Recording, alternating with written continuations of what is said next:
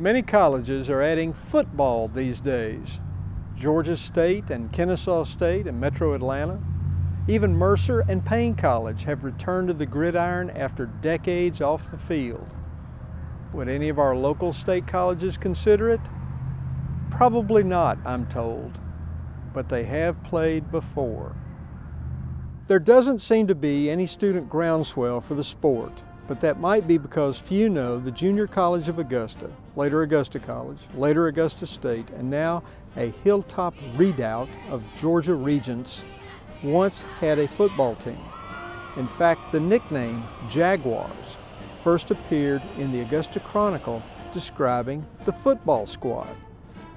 Records are not easy to find, but it appears the one-time Junior College of Augusta last fielded a team in the 1930s before the Depression economics ended competition.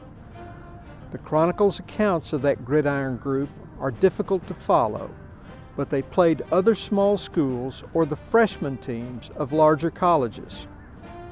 The coach was Bobby Gressette, and the team's best game appears to have been its final one, November 25, 1933, a 19 to nothing shutout of Young Harris, the college in North Georgia.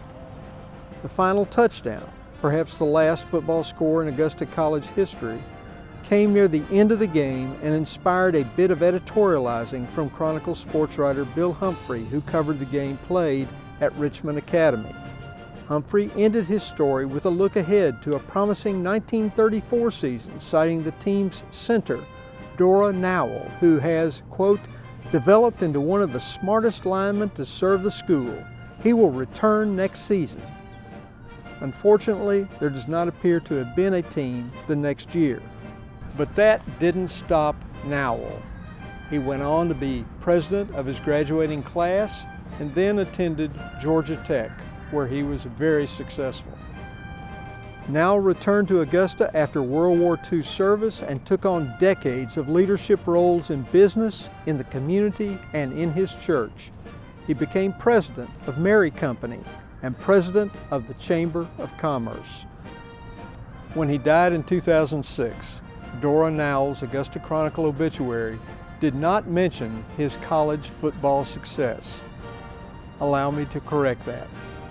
Go Jaguars.